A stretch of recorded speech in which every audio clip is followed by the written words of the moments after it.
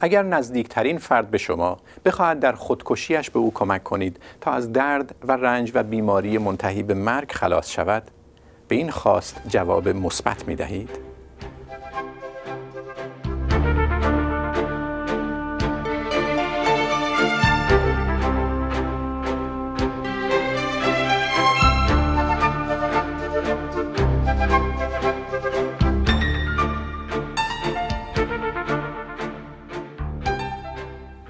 سلام من داریوش کریمی هستم در پرگار دیگری در استودیوی ما در واشنگتن. اونچه که بر صفحه تلویزیون می‌بینید تصویر تونی نیکلنسون مرد انگلیسی است که خواهان اجازه دادگاه به همسرش برای کمک به خودکشی او بود. تونی نیکلنسون پیش از ابتلا به بیماری لاعلاج مردی خوشسیما و شاد و محبوب اطرافیانش بود. دادگاه او بار دیگر بحث اوتانازی را زنده کرد. اوتانازی لفظی است که در سالهای اخیر در زبان فارسی برای کشتن از سر ترحم به کار رفته است کمک به مرگی که شخص را از درد و رنج یا از زندگی نباتی نجات می دهد. می توان تقاضای فردی برای همدست شدن در مرگ او را با توسل به اخلاق، دین یا فلسفه اجابت کرد. آیا جوامع انسانی باید اوتانازی را قانونی کنند؟ در این صورت نباید به امکان سوء استفاده از آن اندیشید به ویژه در کشورهایی که نه اخلاق و نه قانون بر ستونهای محکم استوارند. نباید انواع اوتانازی را متمایز کرد بین قطع داروی بیمار و اقدام به تجویز دارویی که به خودکشی او منجر می شود نباید تفاوت قائل شد.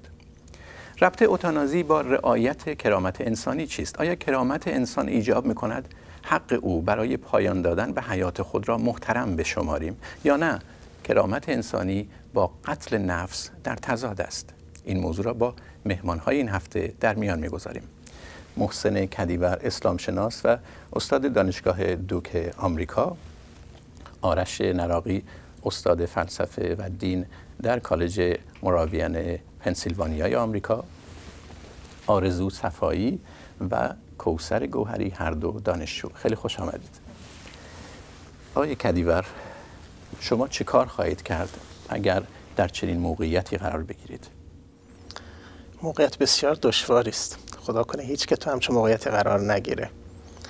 اگر احیانا همچون سوالی از من بشه یعنی کسی تقاضا بکنه که من وسایل خودکشی رو فراهم بکنم از سر درد و رنجی که اون داره قطعا چون کاری نخواهم کرد و او رو دعوت به تحمل و صبر می‌کنم. بهش خواهم گفت که اگرچه الان داری رنج می‌کشی رنج جانکاهی هم هست درد فراوانی داری ولی به این فکر کن که زندگی تو منحصر در همین زندگی دنیوی مثلا صد ساله نیست. تو یک حیات جاویدی در پیش خواهی داشت. به راحت اونجا فکر کن و در نظر بگیر که این رنجی که تو می‌کشی عبس و بیهوده نیست. ممکنه فایده ای برش بار بشه مسلحتی بار بشه که تو اون مسلحت رو در سرای دیگر می‌بینی. تو در محضر خدا داری رنج می‌کشی. ممکنه این رنج هایی که می‌کشی باعث مغفرت تو بشه باعث بالا رفتن موقعیت تو بشه و اصلا ممکنه این آزمایشی برای تو باشه. و اگر تو از این آزمایش سربلند بیرون بیای به یک لذت مدام به یک آرامش دائمی به یک سکینه همیشگی دست خواهی یافت. و به نظر می‌رسه باور به خدا باور به آخرت کمک می‌کنه که ما همچون موقعیتی رو تحمل کنیم.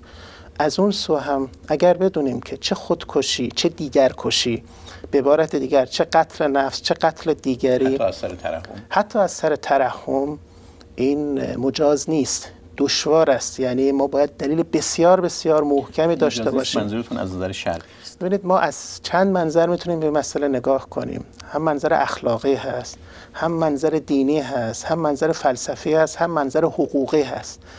و جالبه بدونیم که اوتانازی الان در سه نقطه دنیا به لحاظ قانونی مجاز شمرده شده. دو کشور اروپایی و یک ایالت در آمریکا. چند کشور معدود هم هستند که اینها تخفیف مجازات قائل هستند یا به نحوی اغماز می‌کنند. یا مجازات رو مسکوت گذاشتند. اقماز می‌کنن. یعنی به عبارت دیگر اعمال نمی‌کنن این مجازات رو. افکار عمومی بین المللی کلا حالا چه به لحاظ دینی چه به لحاظ فلسفی دشوار میپذیره همچون موقعیتی رو. بنابراین اون چه که من عرض کردم با بیان دینی شروع کردم. این بیان بیان اخلاقی هم می‌تونه باشه یعنی با قائل شدن به یک ناظر دائمی آگاه نسبت به حال انسانی و باور به این که زندگی فقط همین زندگی کوتاه دنیوی نیست و رنج هم می‌تواند یک آرامش و یک سکینه و تومعنینه جاودانه به دنبالش داشته باشه و ما اگر به اون فکر بکنیم ممکن این رنج رو تحمل کنیم.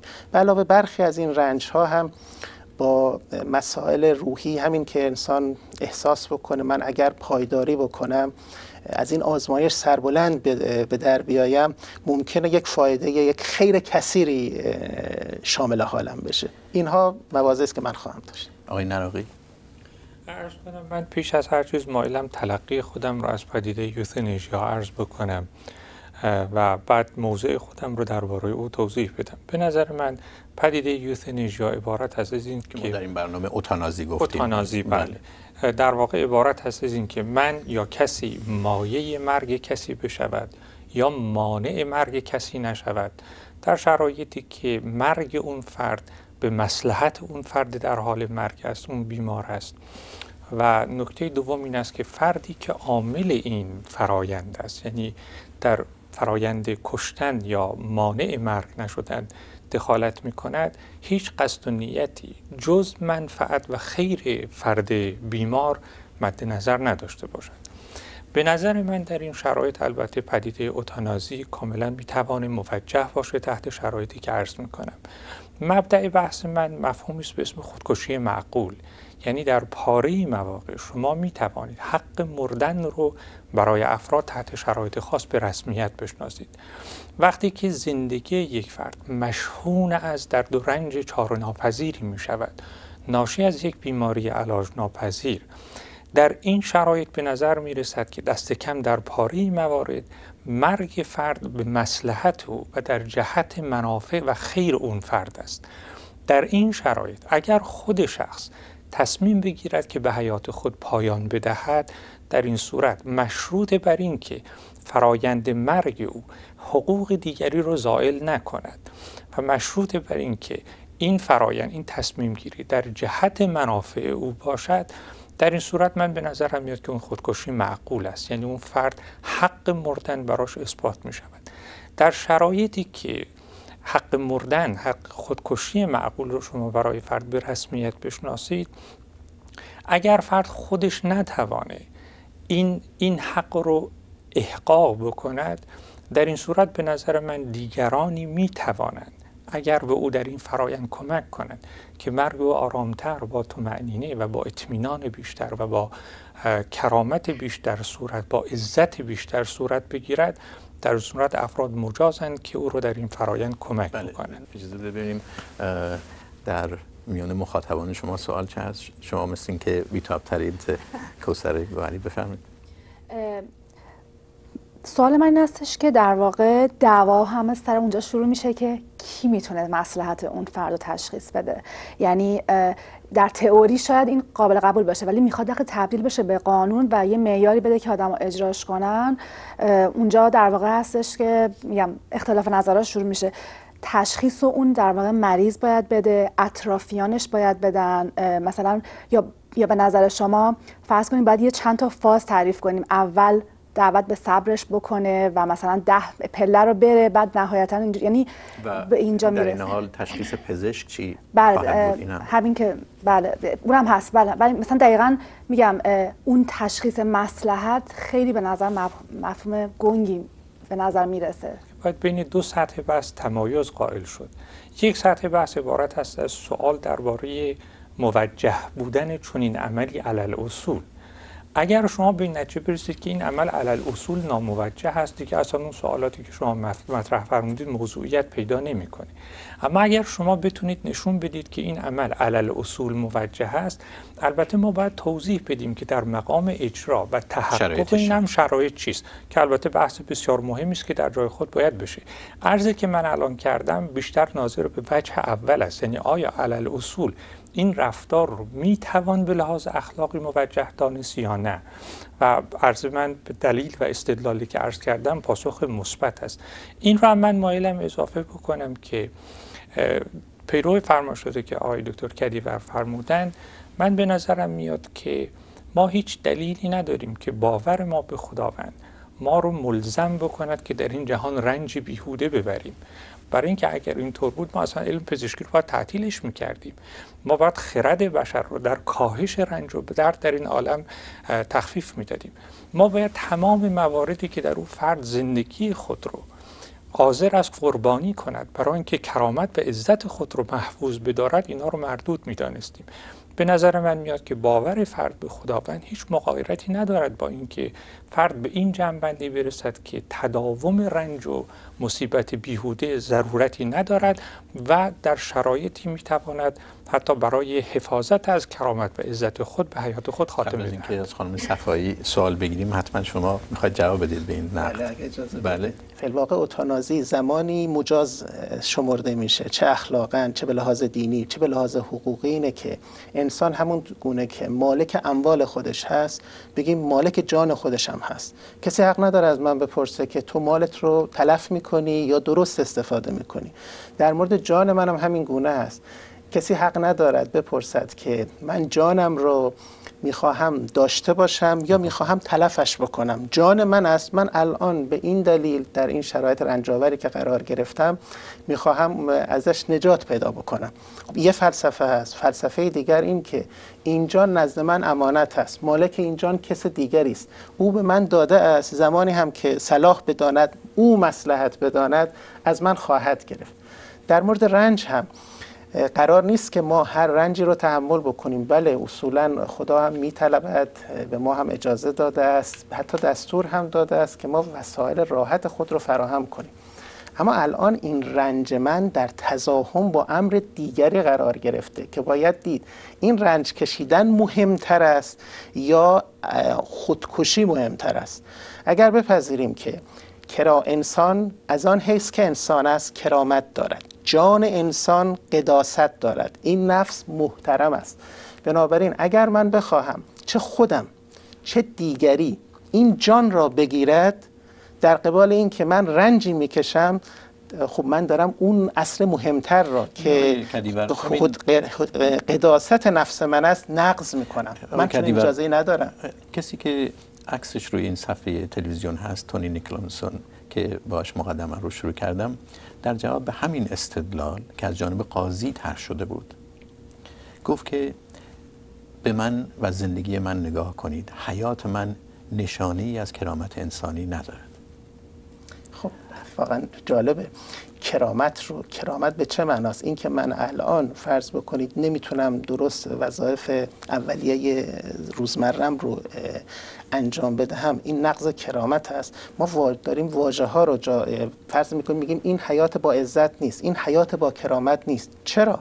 اگر قرار است من آرامش جاودانه پیدا بکنم بعد از آن اون عزت و کرامت نیست. اما اینکه من مثلا یک هفته چند روز به لحاظ دفع و تغذیه و امثال هم با مشکل مواجه هستم این نفی کرامت در طول حیاتش چنین خواهد بود؟ حیاتی که منجر به مرگ قرار بشه بله قرار شده. فرض بکنید به بیمار گفتند که تو چند روز دیگر زنده نیستی و رنج می‌کشی. اون می‌خواهد در این فاصله از رنج نجات پیدا کند. خب به چند سال باشه؟ ممکنه چند سال باشه. یکی این که آیا این فرد اجازه خودکشی دارد یا ندارد؟ نه اخلاق نه دین در حدی که من می‌شناسم روی کرد اخلاقی و دینی. من به او اجازه چنین اجازه ای نمیده. اگر بخواهد دیگری این کار رو انجام بده به نظر می‌رسه اینجا دقیقا دخالت در امر خداوند است. بسیار خوب. شما وقت خواهید داشت آقای نراقی. می‌دونم می‌خواید جواب بدید ولی اجازه بدید ببینیم خانم صفایی سوالشون چه هست سوال من از آقای کدیور هست به عنوان اسلام شناس و محقق دینی. شما به کرامت انسانی اشاره کردید. سوال من به عنوان یک فرد عادی که مطمئنا ممکنه برای هر فرد دیگه هم پیش بیاد این هست که اگر دین و مذهب قائل به کرامت انسانی هست اگر صرف بودن آدمی رو در این کره خاکی محترم میشمره چطور می‌تونه حق انتخاب بین بودن و نبودن رو از فردی بگیره که به هر حال این فرد مثل آقای نیکلسون روزی برای خودش آدم محترمی بوده برای خودش کسی بوده مفید بوده برای خودش اطرافیانش. ولی حالا به دلایل بیماری های لاعلاجی که داره و درد ناشی از اون یا به دلیل از کار افتادگی دائمی دیگه اون احترام سابق رو نداره. دیگه خودش رو مفید نمی‌دونه برای اطرافیانش. در یک کلمه کرامت انسانیش رو از دست داده.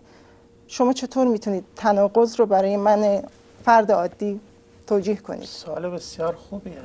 چرا ما مسئله رو از این سو حل کنیم اون سوی مسئله رو حل کنیم. به دیگران بگوییم این فرد کرامت دارد این فرد احترام دارد به احترام بگذارید. ما می‌خوایم صورت مسئله رو پاک کنیم. چون این فرد الان در شرایط نامناسب قرار گرفته میگیم به او اجازه حذف بدیم یا دیگران او رو حذف کنن. ببینید اون چه که من از اوتان نزایی می‌فهمم اینه که انسان بیمار انسان با کرامتی نیست. بیماری لاعلاج. این بیماری لاعلاج با درد جانکاه. او کرامت ندارد لذا ما انسان رو معادل انسان سرحال سالم می‌دانیم. انسان بیمار هم انسان از کرامت دارد. این اخلاق رو در خودمون ایجاد کنیم به اونها احترام بگذاریم. اخلاق دینی ما به ما این رو الزام می‌کنه که به این با این افراد به ایادتشون برید. اکرامشون بکنید احترامشون بکنید. مسئله ببخشید مسئله اطرافیان نیستن. مثلا اون حسی که اون شخص بیمار داره نسبت به خودش وقتی احساس سربار بودن می‌کنه احساس پوچی می‌کنه اون چجوری میشه توجیه کرد؟ من یه تحقیق میدانی خوندم در مورد اوتانازی.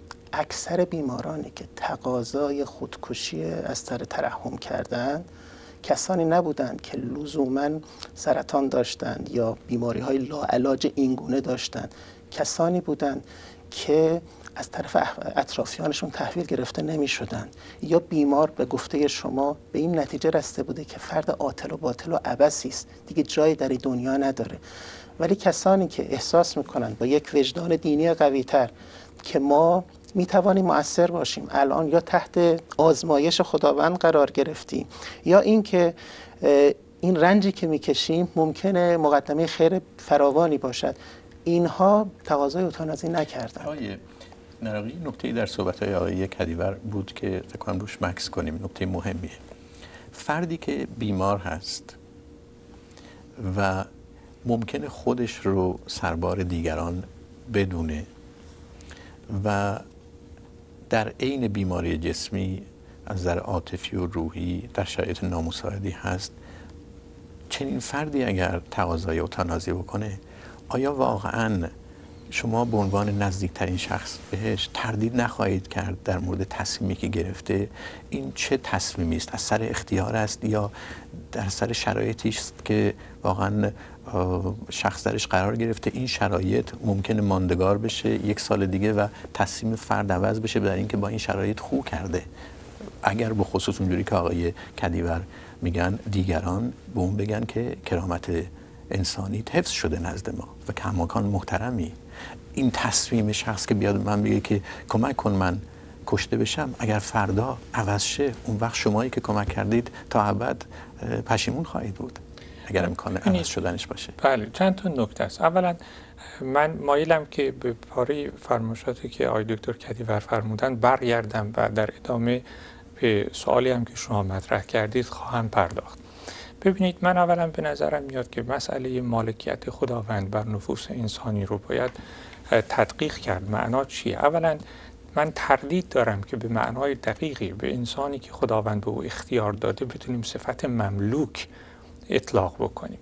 ولی حتی اگر اینطور باشه حتی اگر انسان رو مملوک خداوند هم بدونیم ما هیچ دلیلی نداریم که مالک به صرف مالکیتش این امکان و جواز رو بده که مملوکش هر رنجی رو ببره. فرض کنید بنده صاحب یه اسبم مالکیت من نسبت به اون اسب اجازه نمیده که من اون اسب رو مشمول هر رنج و عذاب و مصیبتی بکنم. در این شرایط هم درست است که شما می توانید به یک معنا خود رو خداوند رو صاحب خود بدانید. ولی از اینکه خداوند صاحب من است بر نمیاد که بنده که مملوک او هستم هر مصیبتی بلایی که بر سر من بیاد روا خواهد بود. من خودم رو نباید بکشم برای اینکه اسب من نباید خود بکشته بشه برای که به منافع من برای مثال ضرر می‌زند. این نکته است که البته محتاج تدقیق است. نکته دوم این است که حفظ کرامت انسانی. لزوما همیشه ملازم با تداوم حیات نیست.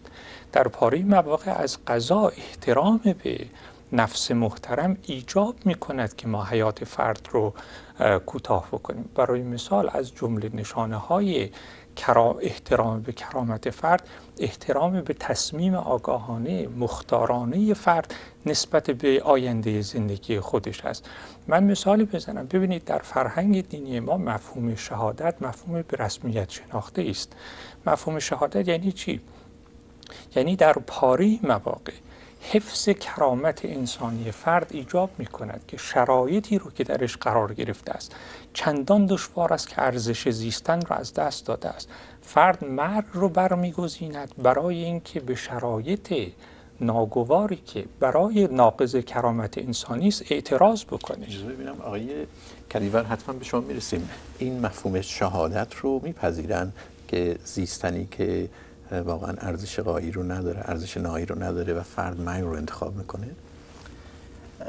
ببینید ما باید یک قاعده اینجا تأسیس بکنیم و اون این که کرامت انسانی اقتضای حفظ حیات انسانی رو دارد. از آن حس که انسان است. از این حفظ حیات که بهش به لحاظ فرهنگ دینی میگیم حرمت نفس محترمه. تحت هر شرایطی. بل مطلق حالا مواردش اینه که تنها جایی که حق باشد می‌توان این نفس را کشت. فرض بکنید من در حال دفاع شرافتمندانه از خودم قرار گرفتم. فردی به من حمله می‌کنه و من در این دفاع اون رو از دنیا می‌کشم. خب این به لحاظ حقوقی موجه است. یا اینکه خود شخص کشته میشه. یا خود شخص کشته میشه. مفهوم شهادت که آقای دکتر اشاره کردن این که من به جنگ بروم یا در مقابل کسی که با من به جنگ پرداخته است کشته بشوم. خب می‌دونیم آدم وقتی به صحنه جنگ میره یا می‌کشد یا کشته می‌شود. و این اثر بی ارزش بودن حیات نیست. خیلی اثر بله. این است که اون ارزشی که تو اونجا هست یک ارزش والاست. بله. لذا شهادت تو این مسئله هست. سومین موردش هم که احیانا میشه بهش پرداخت در بحث قتل مجازات قانونی است. خب ما افراد رو وقتی کار ناپسندی به لحاظ قانون انجام می‌دهند دادگاه اونها رو فرض بکنید به اعدام محکوم می‌کنه. ما این سه مورد تقریبا جزء مواردی است که به لحاظ حقوقی در دنیا موجهه. اما اوتانازی یک مفهوم چهارم است. استثناء چهارم هم خب الان روی این بحث بکنه بله. البته اینجا بحث اعدام باز میشه که آره. می‌ذاریم وقتی برای برنامه دیگه. میشه نتیجه گرفت که شما با مجازات اعدام موافقید؟ این فکر می‌کنید می‌تونه موجه باشه با شرایط بسیار بسیار مزین. می‌گذاریم برای برنامه دیگه برای اینکه نمی‌خوایم با این بحث آمیخته بشه خانم گوهری. بله به شما می‌رسیم برای اینکه سوال گرفته باشیم از خانم گوهری. بله اونطوری که من متوجه شدم اوتانازی یک در واقع یک عمل خیلی هست که در تاریخ ازش سوء استفاده های زیادی شده. حالا امیدوارم شما بر من توضیح بدین که به نظر می‌رسه که تو خیلی از جوامع با این داستانی که از آدمایی که سربار جامعه هستن از دستشون راحت بشیم خیلی هم همراه بوده. واسه همینم خیلی تاریخچه میگم سوء استفاده ازش هنوز زنده است یعنی تو خاطر ما زنده است. برای همین ترس مثلا من نوعی شاید این هستش که از کرامت انسانی صحبت کردیم و ارزش بالایی که داره ولی یه ارزش دیگه در چی میگن رقابت با اون هست. اون هم تلاش اطرافیان برای اینکه اون فرد رو به حیات علاقه من بکنن.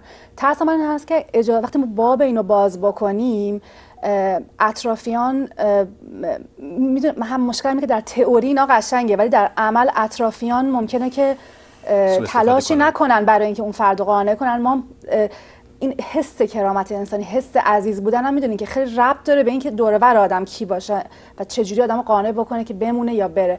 برای همین انقدر این مفهوم نسبیه که عملا شما نگران سوء استفاده از چنین چیزی هستید نگر... من هم نگران سوء استفاده هستم هم نگران همین که کرامت انسانی باز همین که مثلا آقای دکتر کدیور گفتن یعنی تعریف بشه به یک همونطور که آلمان نازی تعریف می‌کرد. گفت این این نژاد با این مشخصات این این خوبه. بقیه باید مثلا حذف بشن بچه های معلول رو میکشتن.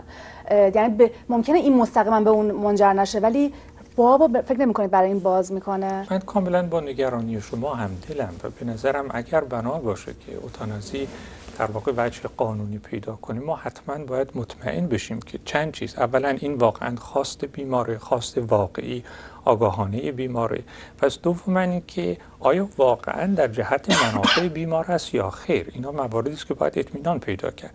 راهش این نیستش که ما بیمار رو از حق مردن با عزت محروم بکنیم. راهش این است که مکانیسم های بیندیشیم فرایند های بیندیشیم که مطمئن شیم که منافع واقعی بیمار در این فرایند محفوظ و محترم است. برای مثال شما می توانید کمیته تشکیل بدید که اون کمیته تصمیم بگیره که آیا در این مورد خاص باید این حق به اصطلاح اوتانازی رو به رسمیت شناخت یا نه. اون کمیته می‌تونه پس از اینکه خود بیمار مکررن و در شرایط متفاوت در شرایطی که توانایی تشخیص و داوری آگاهانه و ارز کنم خردمندانه و مختارانه درباره وضعیت خودش رو داره. این درخواست رو به کمیته منتقل کرد. کمیته که متشکل باشه از جمعی از اخلاق اخلاقیون متخصصین اخلاق گروهی از پزشکان بعضی از اعضای خانواده فرد که معتمد او هستند و حتی در پاره مواقع یک قاضی که در این باره مسئله را ارزیابی بکنند. و تشخیص بدن که آیا این حکم ناشی از نیت واقعی خود فرد است؟ یک. و ثانیا آیا واقعا در جهت منافع اوست؟ یعنی آیا واقعا در این شرایطی که او قرار گرفته زندگی و ارزش زیستن خود را از کف داده است یا نه؟ برای که ممکنه که یه فردی فرض کنید دچار افسردگی خیلی شدید باشه در شرایطی نباشه که علا رقم این که خودش مکرر تاکید می‌کنه در شرایطی نباشه که افقهای آینده رو واقع بینانه ببینه و اینکه ممکن است که در آینده زندگی او شرایطی فراهم بشه که زندگی او دوباره ارزش زیستن پیدا کنه. این نکته بنابراین دلنگرانی شما بجاست.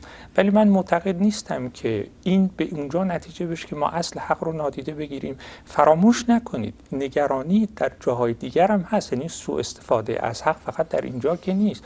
در دفاع از خود برای مثال یک کسی ممکنه به بهانه دفاع از خود بی جهت کسی رو بکشه.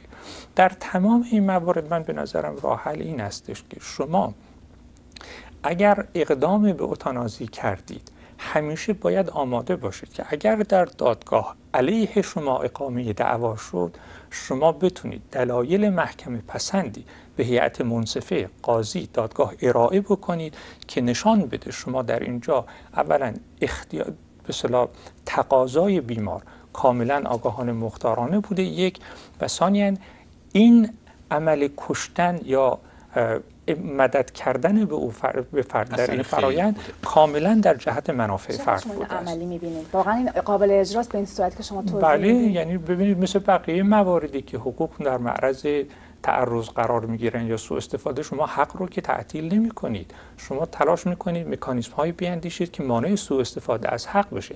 یعنی عزم شما به عنوان یه حقوقدان این است که تا اونجا که ممکن است حق رو محترم بله. بدارید مجاری سوء استفاده رو مسدود کنید. سوال خانم صفایی رو بگیریم فقط من بهتون بگم مربوط به سوال خانم گوهری است که در ایالت اورگان آمریکا که اوتانازی قانونی شده چند سال بعد از قانونی کردنش تحقیق انجام شد و مشخص شد که موارد سوء استفاده از اوتانازی یافت نشده. بله. یعنی قانونی کردنش منجر به این نشده که سوء استفاده البته کلی اما اگر هست یعنی ممکنه این تحقیق نتونسته واقعا در تک تک اون موارد ببینید که خانواده ها تحت چه شرایطی این کارو کردن هر کدوم از بیمارا تحت چه شرایطی تصمیم گرفتن. ولی نتیجه اون تحقیق که چند سال اخیر بود اگر بپذیریم لاقل در ایالت اورگان آمریکا سوء استفاده نشده بود. این به معنی نیست که در جامعه دیگه نخواهد شد. البته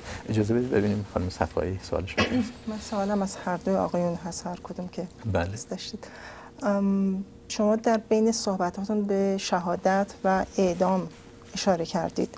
اینجا باز برای من به عنوان یه فرد عادی که نماینده جامعه هستم یه پارادوکسی ایجاد شد. چطور؟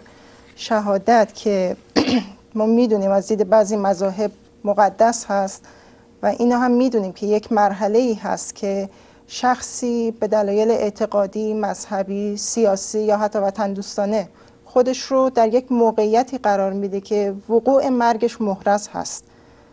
چطور این خودکشی محسوب نمیشه؟ یا اعدام؟ آیا قتل نفس نیست؟ اینا از دید شما مشکلی نداره ولی اتانازی که خب به حال شخصی خودش تصمیم می‌گیره. خودش تصمیم می‌گیره و در بدترین شرایط هم معمولا این تصمیم گرفته میشه. در اوج درد و زجری که خب ما تا جای اون شخص نباشیم نمی‌تونیم تصور کنیم این موقعیت رو. در مورد مجازات هم علم حقوق هم علم فقه اخلاق و دین میگن فردی که برخی اعمال رو مرتکب میشه احترام نفس خود رو ساقط کرده. یعنی فرض کنید مثل در ایران مثلا خفاش شب یا مثلا هیتلر صدام کسانی که جنایات بشری انجام دادن.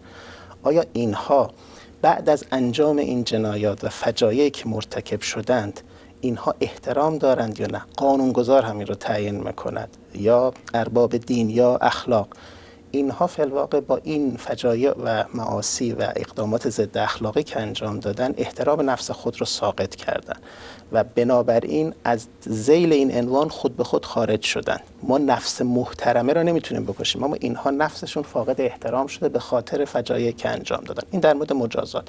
این هم نص قرآن است هم ارباب ادیان ابراهیمه قبول دارن هم علمای اخلاق. و هم علمای حقوق. اما در مورد شهادت.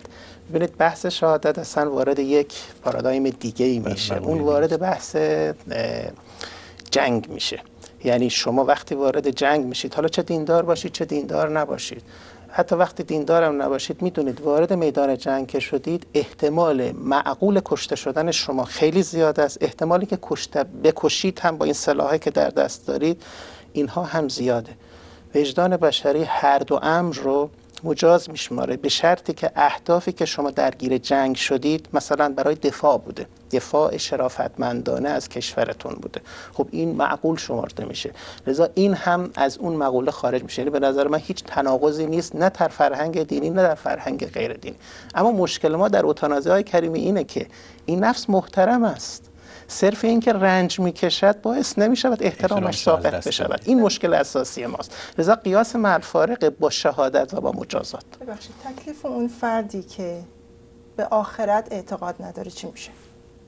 در کدوم مورد؟ از سه مورد. در مورد اوتانازی منظورتون. بله. سوال خوبیه. در مورد اوتانازی اگر فرد به آخرت اعتقاد نداره من به لحاظ دینی نمی‌تونم به او بگم چنین نکن. اگر من پزشک باشم من حق ندارم اعتقاد باورهای دینی. من به من اجازه نمیده که در این متنازع شرکت بکنم. یعنی دستور او رو خواهش او رو اجابت بکنم. اگر در جامعه زندگی می‌کنم که اکثریتش دیندار هست این تبدیل به قانون میشه. اونها هم با قانونی شدن همچون امری موافق نخواهند بود. نهایتش اگر بخوام با آقای دکتر نراقی همراهی بکنیم این فرد اگر می‌خواهد از حق خود استفاده بکند میره جامعه دیگری. من اون شماتت می‌کنم. یعنی معتقد هستم او اشتباه می‌کند. اما اینکه می‌تونم مانع اون بشوم مثل هر کسی می‌خواد گناه بکنه. من چه کار هستم؟ که جلو اون رو بگیرم اون می‌تونه کار خودش رو ولی به عنوان قانونگذار تلاش خواهید کرد مانعش شید. اگر بله بله به عنوان قانونگذار.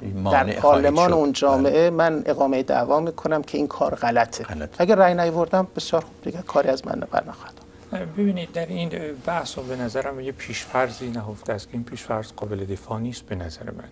اون پیشفرض این است که نشانه احترام به کرامت و ارزش ذاتی یک انسان این است که تا اونجا که می توانیم در تداوم حیات فرد بکوشیم.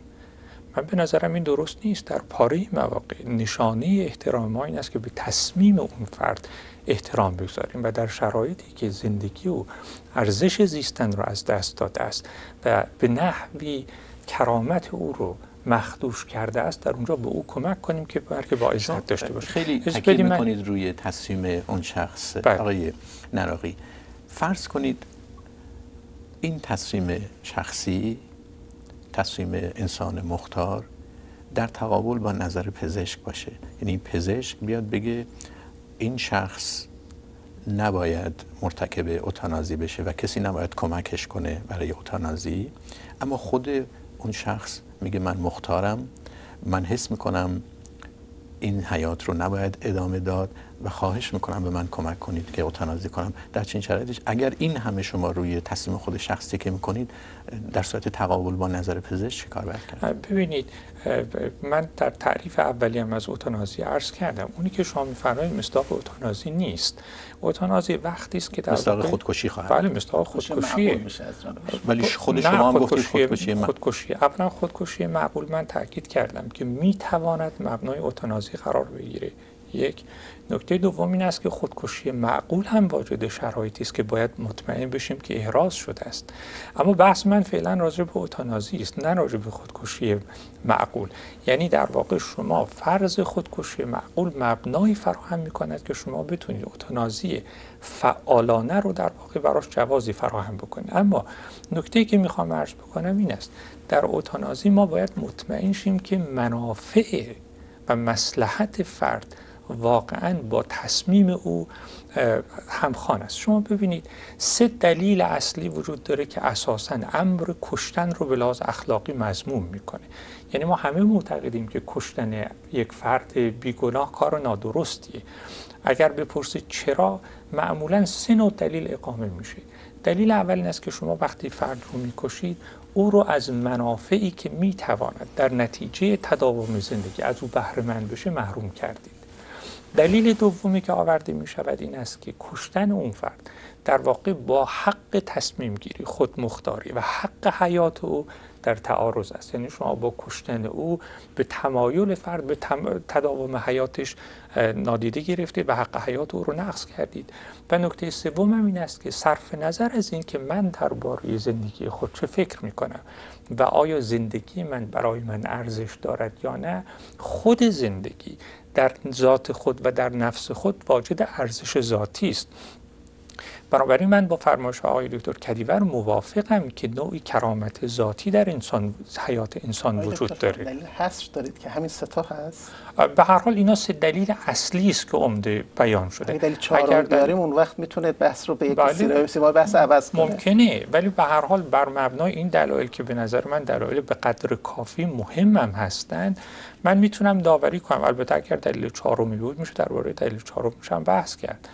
اما این سه دلیلی که عمدتا بیان شده برای توضیح قبح اخلاقی کشتن من به نظرم میاد که در مورد اوتانازی شما می توانید شرایطی فرض کنید که در اونجا تصمیم فرد یعنی خودمختاری او یعنی حرمت حق حیات او بر این است که به حیات خود خاتمه دهد.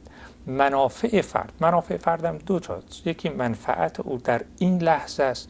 یکی منفعت او با توجه به تمامت زندگی بله. اوست که امر به صلاح عینی محسوب میشه. منفعت او هم ایجاب می‌کند و در شرایطی که واقعا کیفیت زندگی او چندان تنزل یافته است که به نحو چار ناپذیر زندگی او شکلی پیدا کرد که با ارزش های اساسی او با تصویری که خود از هویت خود دارد کاملا به تعارض افتاده در این شرایط تمام اون بله. دلایلی که کشتن رو ناموجه می‌کنند منتفی شده است آقای کدیبر چهارمی رو اشاره کنم. بله چهارمی. شما سوالتون هم بفرمایید من چهارمی هم اشاره کنم شما بگید چهارمی رو بعد من سوالم می‌پرسم. ببینید فکر می‌کنم این محل نزاع ما در به لحاظ نظری بحثی در این است که همونطور که من اشاره کردم شما هم مناقشه فرمودید آیا من مالک مطلق حیات خود هستم یا نه؟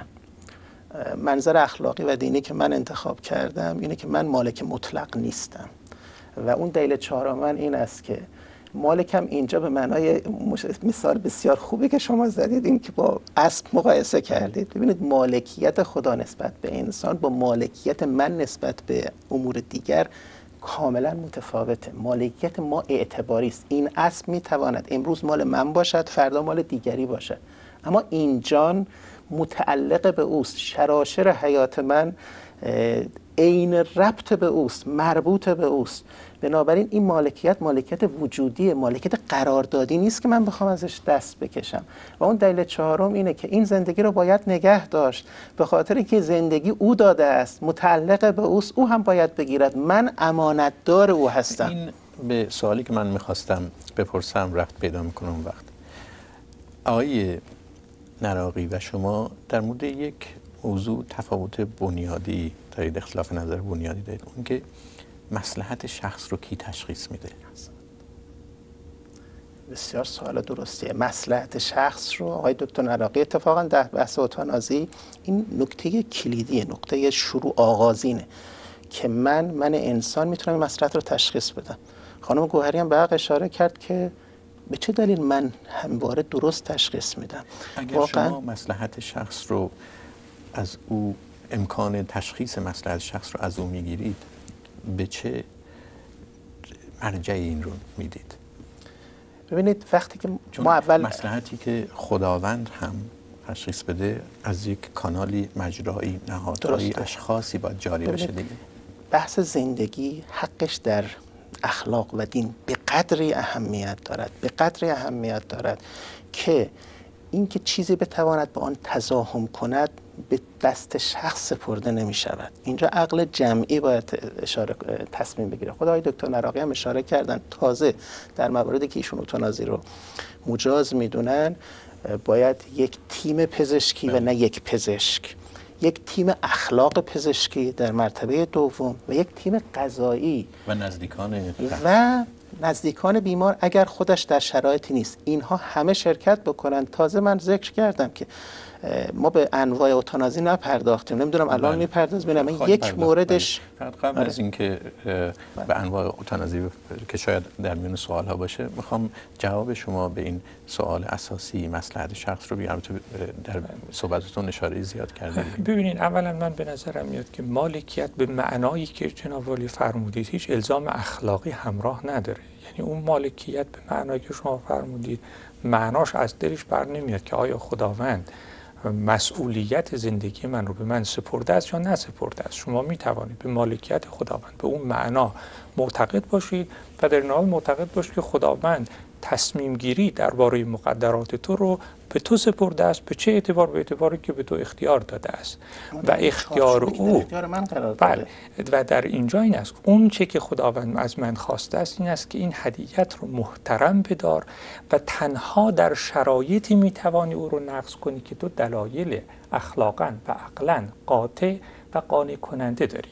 بنابراین همه چیز برمیگرده به اینکه آیا در این شرایط تقاضای من برای مردن موجه هست یا خیر؟ توجه می‌کنید در این شرایط من واقعا از آقای دکتر کدیور تعجب می‌کنم که چطور عقل انسان رو که به اینجا می‌رسیم بیکاره می‌کنیم. چطور در مواقعی که تصمیم می‌گیریم به جنگ بریم ما می‌توانیم مسلحت رو تشخیص بدیم. در مواقعی که من در دفاع از خود به قتل دیگری برمیخیزم عقل من توانایی تشخیص مسلحت داره. ولی در شرایطی که زندگی من آکنده از رنج شده است و زندگی من به نحو عینی ارزش زیستن خود را از دست داده است و من در شرایطی قرار گرفتم که کاملا مقایر با عزت و کرامت من است. در اینجا یک باره عقل عرفی ما یک باره بیکاره می شود. من این رو نمی‌فهمم. من نظر اینکه این چطور هایی که می‌پرسین سوالای درستی است ولی بازم به نظر من حداقل تجربه نشون داده که اینطوری یعنی اون فرد نمی‌تونه آگاهی به کل جوانب نداره که در مورد خودش تصمیم بگیره. اتفاقا همون نظرسنجی که در ایالت اورگان شده بود و من یه نگاه کردم و حالا نمی‌دونم مفسو استفاده چجوری تعریف میشه ولی بیشتر درصد بالایشون بالای 70 درصد بودن بالای 70 سال بودن سرطان داشتن و خیلی هاشون هم آدمایی بودن که خودشون نمی‌تونستن کنترل کنن. یعنی مشخص بود که تو این مسئله خیلی براشون سنگینه و احساس سرباری می‌کنن. یعنی باز دوباره به نظر میاد که این یه تصمیم بوده که یعنی اینطوری آمارا آره شرایط تعمیل کرده. اون یه چیز کوچیکم بگم که یه مس... دورور ما افراد زیادی هستن. مثالای زیادی هم هست از افرادی که باز به خاطر اون منابعی که داشتن کرامتشون رو باز تعریف کردن و تصمیم گرفتن زنده بمونن. مثل آقای فکر کنم دومینیک بابی که اگر اشتباه نکنم editor معروف یکی از مجلات مد فرانسه بود که فقط پلک سمت چپش کار می‌کرد که کتاب نوشت با پلک زدن. 42 سالش هم بود که سکته کرد. در واقع کتابش رو منتشر کرد و فکر دیگه فکر نمی‌کنم از اون وحشتناکتر شاید زندگی بود و اینا. ولی به خاطر آدمایی که اطرافش بودن و همکاری که باش کردن یعنی من می‌خوام بگم اون قانونه درسته. اگه فرد اعتقاد داشته باشه به اوتانازی خیلی عوض نمی‌کنه. اون غیر قانونیش کنیم یا قانونیش کنیم اون نظر فرد عوض نمیشه. ولی آیا ما می‌خوایم این تلاش سیستم رو برای اینکه اون فرد رو به اینجا حل بده رو می‌خوایم رو تضعیف کنیم با داشتن همچون قانونی؟ ببینید دو تا نکته است. من کاملا با شما موافقم که در پاره موارد افراد در تشخیص مسلحت خودشون خطا می‌کنن. نکته دوم این است که گاهی وقتا خطا هم نمی کنند اما در تشخیص توانایی تطبیق خودشون با شرایط جدید خطا می‌کنن. همه اینا درسته. اما از اینا نتیجه نمیشه که برای کسی که شرایط رو درست دیده توان خودش رو هم به درستی ارزیابی کرده. و اکنون آگاهانه در نهایت هوشیاری مختارانه مرگ خودش رو میطلبه ما او رو از این حق محروم کنیم. شما که اتانازی رو اجباری نمی کنید که شما این حق رو به اون کسی که مایل است در شرایطی که آگاهانه و مختارانه این تصمیم رو گرفته این حق رو می‌دید. حالا اون فرد به این جنبندی رسید که اکنون برخلاف انتظار خود شرایط خب، زندگی قابل زیسته ولی قانون فرهنگ سازی می‌کنه که درسته که قانون ضد نجات پرستی آدم نجات پرست رو دفعه عوض نمی‌کنه ولی در طی سالیان این قانون وقتی در اجرا بشه به مرور فرهنگ جامعه تاثیر می‌ذاره.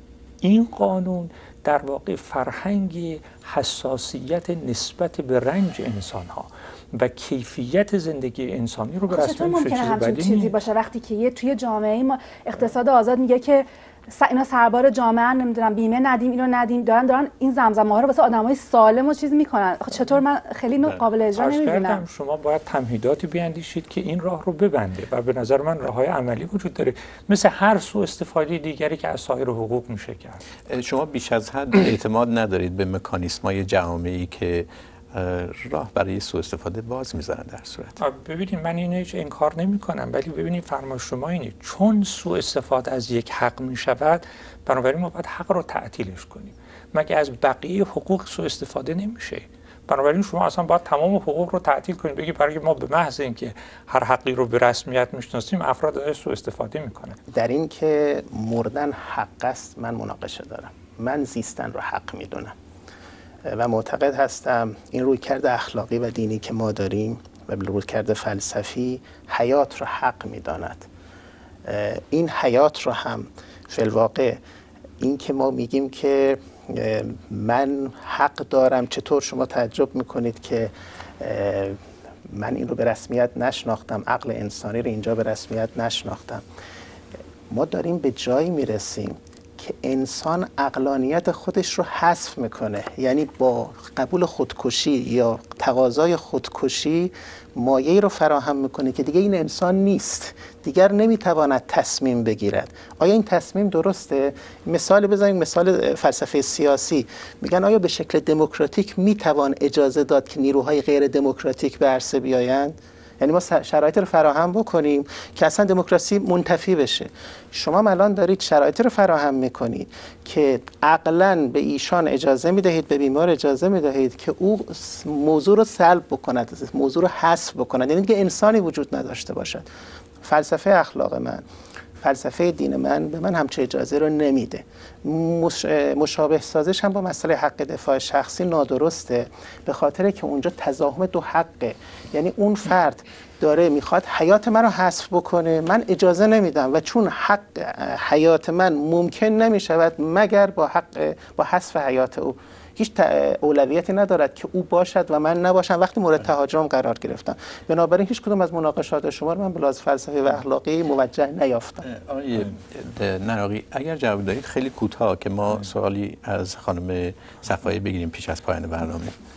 ببینید من معتقد نیستم که در واقع ما فتوا به حکم عقل فتوا میدیم که عقل حذف بشه. من امروز می‌تونم داوری بکنم که فرض کنید بیماری که من دارم در یه جایی ممکنه من به وجهی به سطحی برسم که فرض کنید قسمت های فوقانی تر مغز من از کار بیفته. یعنی قسمت هایی که مربوط به فرایندهای اقلانی تعمل تفکر و غیر است. ساقه مغز من فرض کنید که محصول کارای اتوماتیک بدنی همچنان کار بکنه. اما قسمت فوقانی تر که مسئول آگاهی است از کار بیفته. در این شرایط من اگر پیشا پیش وصیت کنم وقتی در این شرایط قرار گرفتم شما حق دارید که در واقع من رو به شکل کم دردتر و رنجتری بکشید. در این صورت اینجوری نیستش که من عقل خودم رو منتفی کرده باشم. در واقع من در شرایطی قرار گرفتم که در واقع اون بخش هویت بخش به من به عنوان یک شخص انسانی پیشتر محو شده است. بله اجازه بدید سوال بگیریم از خانم صفایی. از آقای کدیبن می‌خواستم بپرسم که آیا مذهب تفاوتی قائل هست بین انواع اوتانازی؟ می‌دونیم که چند نوع داریم. دو نوع خیلی مشهورش این هست. یکی اوتانازی فعال داوطلبانه هست و اوتانازی یا ارادی, بله. یا ارادی و غیر فعال. آیا مذهب تفاوتی بین این دو ممکنه قائل بشه؟ سوال خوبیه. شاید از اول باید از همینجا شروع می‌کردیم بله. که کل اوتانازی رو نه مورد بحث قرار بدیم. ببین همونطور که اشاره کردید حداقل سه نوع اوتانازی داریم. یکیش اختیاری و ارادی هست یکیش که بیشترین بحث در این برنامه بله یکیش غیر اختیاری هست و یکیش اجباری هست. در ممنوعیت اجباری چه به لحاظ اخلاقی و چه به لحاظ دینی تردیدی نیست. اون حالت غیر اختیاری به شرط این که اونم دو مثلا مصداق می‌تونه داشته باشه دو شعبه بشه. یکی این که فرد بیمار به کما بره. مثلا اشاره کردیم اول بس به زندگی گیاهی بیفته. یعنی دیگه مغزش کار نکنه. فقط قلب می‌زند اونم با دستگاه. نفس می‌کشد مصنوعی. آیا در این شرایط سالیانی هم طول کشیده؟ نه یک یه روز دو روز هم نبوده. ممکنه چند سال طول بکشه. خب این باید تحمل بشه یا نه؟ یعنی این دستگاه هنوز ادامه پیدا بکند یا نه؟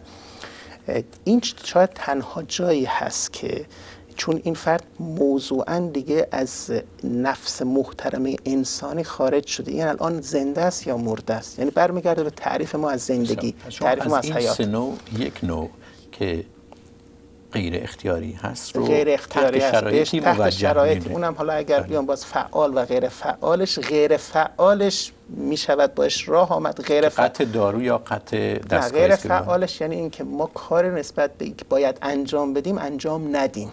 مثلا باید جراحیش کنیم یا باید بهش دارویی بدیم. این کنیم این کارو نکن... نه قطع نکنیم. دارو رو ندیم. اگه دارو رو بخوان بدیم و قطعش بکنیم چه فعال؟ که دادن دارو رو قطع کنیم دیگه. عملا به این معنا خواهد به این معنا. آره. این خب. جایی است که میشه گفت و اینم ذکر بکنم. این رو تخصصا خارج است. یعنی اصلا این بحث دیگه اوتانازی نیست به معنایی چون فرد اصلا انسان معلوم نیست. بله. نفس انسان زنده نیست من خیلی کوتاه آیه نراقی قبل از پایان برنامه از سه نوعی که آقای کدیور گفتند اختیاری که شما گفتید باش موافق هستید. غیر اختیاری که ایشون گفتند تحت شرایطی باش موافق هستن. و اجباری که یه بحث جدایی است اون می‌تونه اصلا قتل باشه. شما در حوزه اختیاری گفتید موافق هستید. غیر اختیاری نظرتون چه هست در غیر اختیاری موقعی است که در واقع بیمار خودش در شرایطی نیست که بتوانه نفیان یا اثباتا در این باره حکم میده برای ما نظر بیمار رو نمی‌دونیم. دو عامل تعیین کننده که یکی اختیار خود تصمیم بیمار و دیگری منافع اوست. در اینجا ما در واقع اطلاعی از اختیار و تصمیم بیمار نداریم.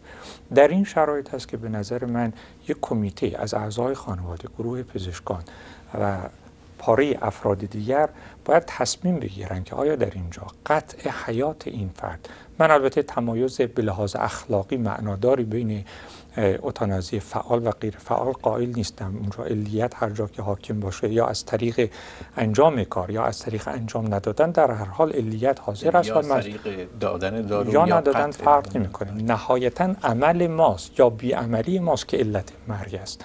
در این شرایط من به نظرم میاد که ما ناچار این تصمیم رو نهایتا بر مبنای منافع و مصالح شخص بیمار اختیار بکنیم. در این صورت اگر داوری ما این باشه که مسلحت بیمار و نه هیچ چیز دیگر اقتضا می‌کنه که حیات او رو خاتمه بدیم در اون صورت به نظر من میاد که اوتانازی غیر فعال ببخشید غیر ارادی غیر اختیاری در این شرایط می‌توانه مجاز باشه به پایان برنامه این هفته پرگار می‌رسیم. ممنون از شما و از مهمانهای برنامه محسن کدیور آرش نراقی آرزو صفایی و کوسر گوهری. این برنامه را به آدرسی که روی صفحه ظاهر شده می‌تونید ببینید. اگر نظری دارید یا مایلید در برنامه شرکت کنید برای ما ایمیل بزنید. برای ادامه بحث هم می‌تونید به صفحه فیسبوک ما سری بزنید. شب و روز بر همه شما خوش.